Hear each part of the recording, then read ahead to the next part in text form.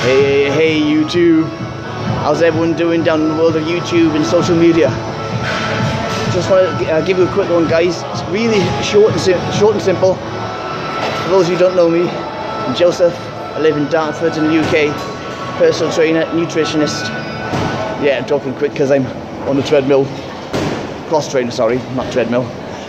Uh, basically, oh, bear with me, get my breath back. Did you know that sugar is nine times more addictive than cocaine? Well, how can that be a good thing?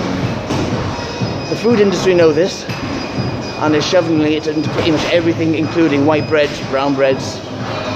More sugar in milk than is is is clinically healthy, so that's not a good thing. Uh, milk in America, including organic milk, is actually unhealthy and two, a study over two years ago, and Jamie Oliver delivered this TEDx talk as well, said that basically American children between the ages of 7 and 11 are ingesting a heaped, heaped, not level, a heaped wheelbarrows worth of sugar over four years.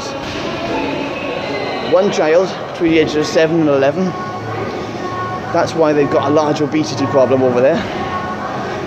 Guys, we need to crack this on the heads and start doing uh, public speaking events and educate people on why sugar is so addictive and help them get off what they're doing, get their lifestyles turned around.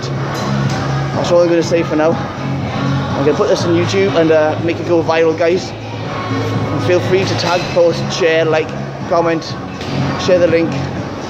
Check out my website coming soon this week josephforeman.com, a Christian fitness and nutrition expert.